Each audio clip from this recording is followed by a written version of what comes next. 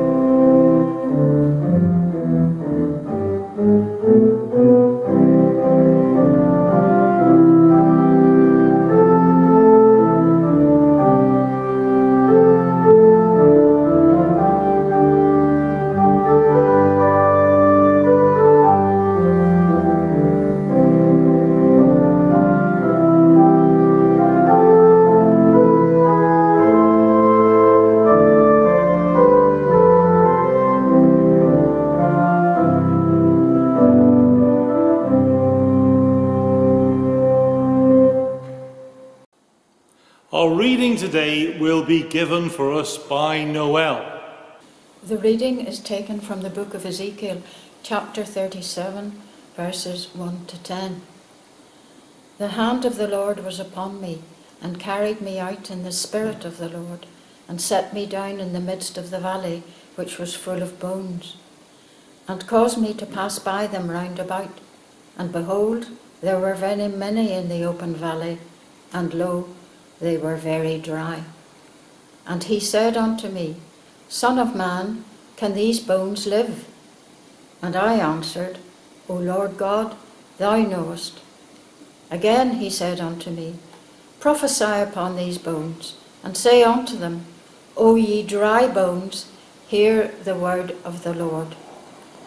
Thus saith the Lord God unto these bones Behold, I will cause breath to enter into you, and ye shall live.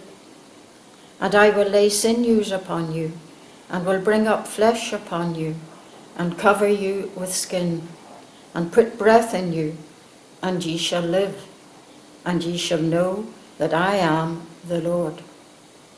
So I prophesied as I was commanded, and as I prophesied, there was a noise, and behold, a shaking, and the bones came together bone to his bone.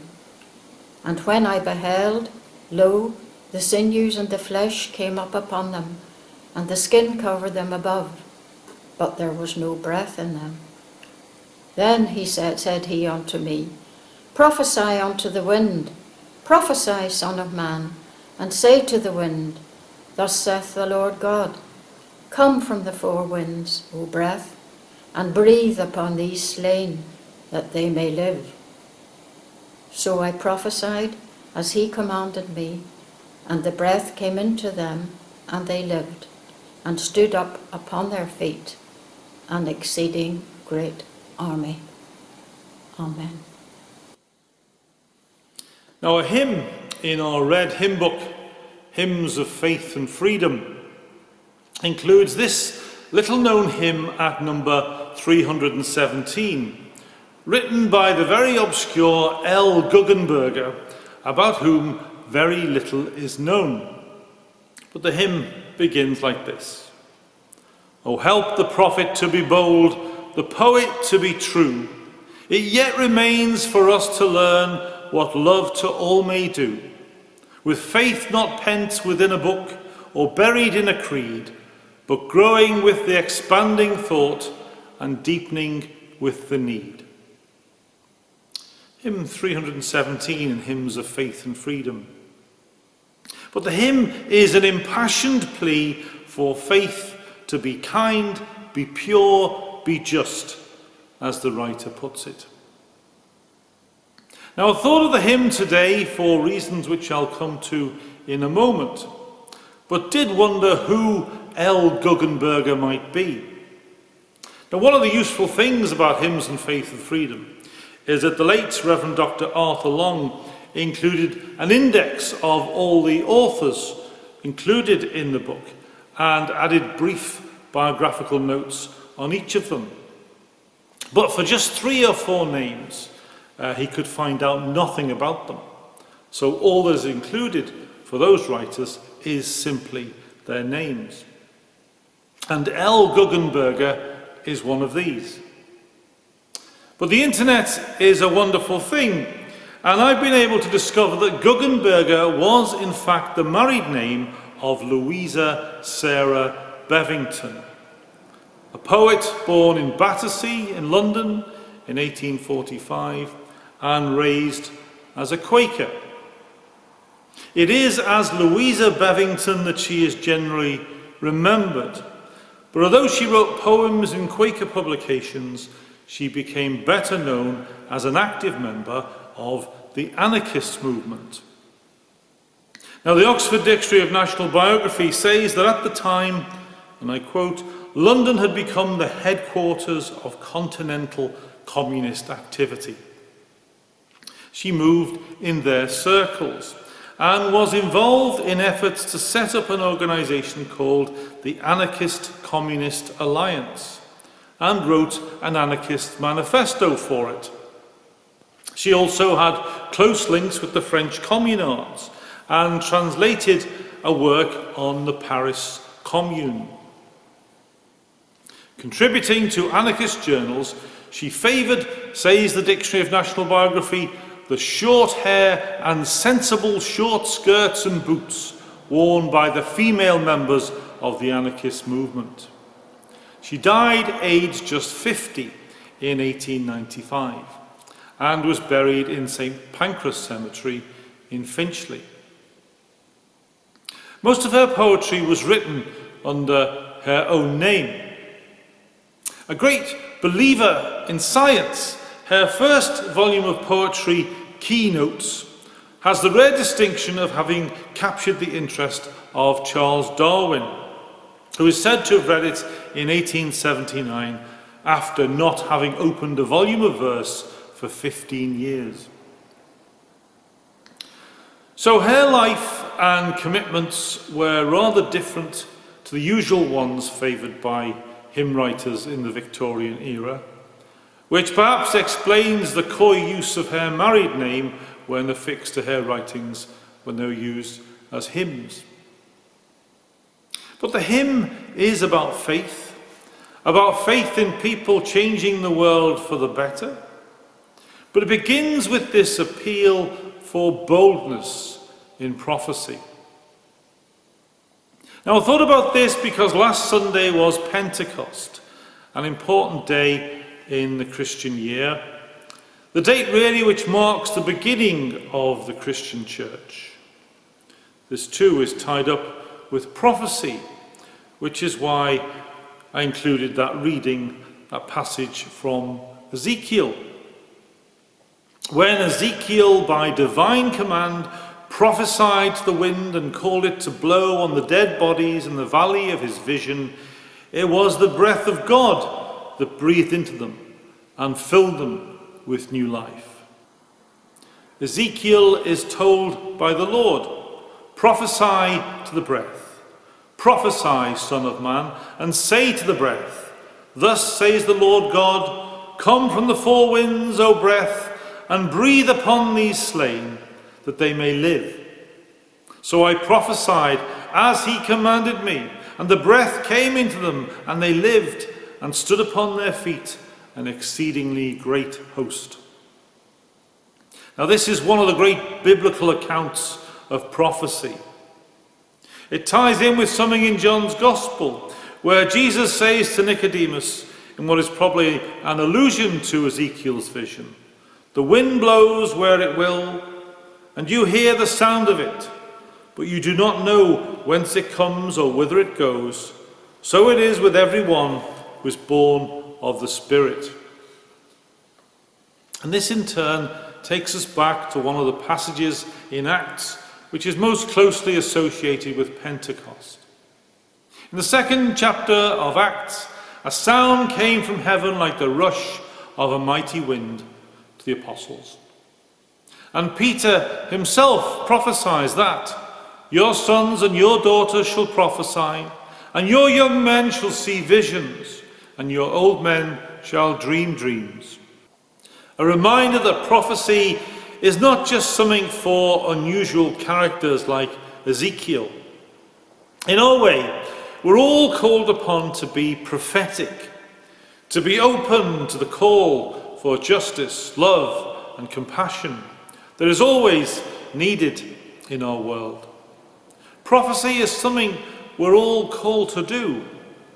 We're all expected to be prophetic about the issues that we encounter. This is very well brought out in a new book by Cliff Reed entitled Beyond Darkness, a collection of prayers, thoughts, reflections, and readings for worship. This is his book here. I'd like to read now one short passage from the book entitled Spirit of Prophecy. I will pour out my spirit on all mankind, and your sons and daughters shall prophesy. May the spirit of prophecy be with us, the spirit that speaks out against cruelty, corruption, and injustice, the spirit that speaks truth to power, the spirit that isn't cowed by the bullies, bombasts, and tyrants. May the spirits of prophecy be with us, speaking out for this planet and its myriad creatures calling us and all people to reverence and protect the cycles of nature. May the spirit of prophecy be with us, poured out upon earth, sons and daughters, upon young women, young men, and all who dream dreams of wholeness, beauty, and peace. May it be so. Well, let's join together now in the fellowship of prayer. Let us pray. O oh God, we know that you are everywhere, but now we bring ourselves into your presence. Wherever we may be, we come now to praise you, to thank you, to worship you, to listen to you. Grant that we may stay by your side this day and walk with you all the days of our life. God of wonder and of joy, come now and dwell with us. When we are weak, give us strength.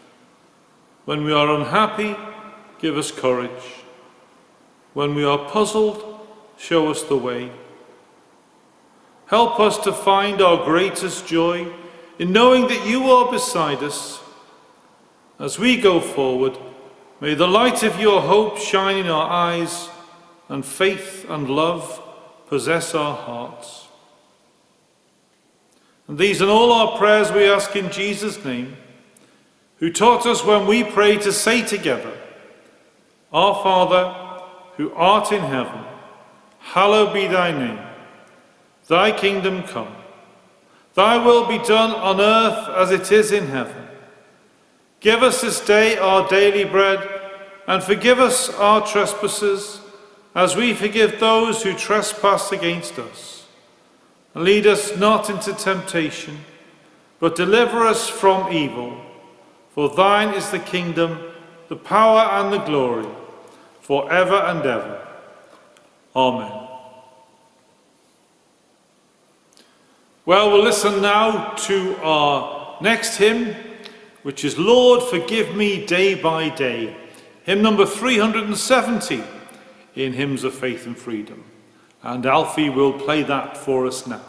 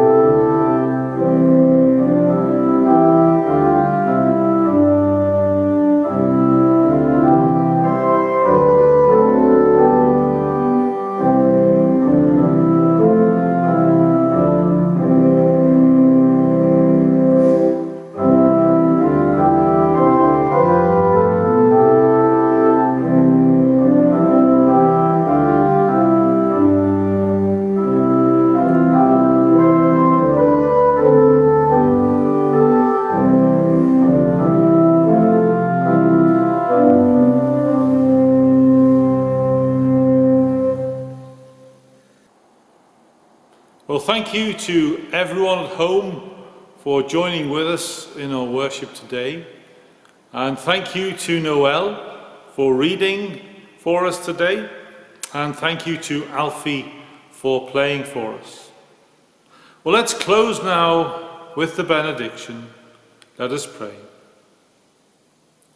May the God who guides our journey, who bears the suffering of the world, who empowers us with the gifts of life, now fill us with courage, wisdom, and joy, this day and evermore. Amen.